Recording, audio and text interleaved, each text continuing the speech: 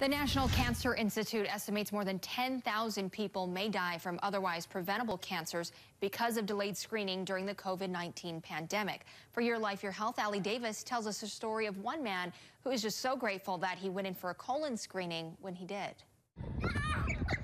Last year, Rick Rogers wasn't feeling himself. And then I almost passed out playing basketball. That's when he realized he needed to see a doctor. I'm usually the uh, the Superman type, you know, that you know, don't go to the doctor unless I absolutely have to. He's grateful he did. At just 39 years old, he was diagnosed with anemia and with colon cancer. 10 or 11 polyps and a tumor about the size of a golf ball. And you know, you hear that stage three diagnosis, and that, that was really scary to get. Intermountain Healthcare's Dr. Mark Lewis says younger people are not immune. One in seven of my patients with colon cancer is under the age of 50. Which is why he says colonoscopy screening is critical, even during the pandemic. Because if you're going in and removing a polyp at the precancerous phase, you're then preventing that polyp from remaining and growing into an actual cancer. This year, a U.S. task force is now recommending people of average risk to start screening at age 45 instead of 50.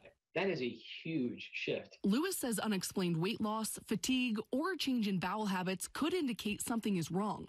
After Roger's diagnosis, his six siblings and parents were also screened. My testing led to them being tested, you know, younger than they normally would have, which kind of prevented them from having issues. While Rogers admits the prep for a colonoscopy isn't always fun. One, don't be a wimp.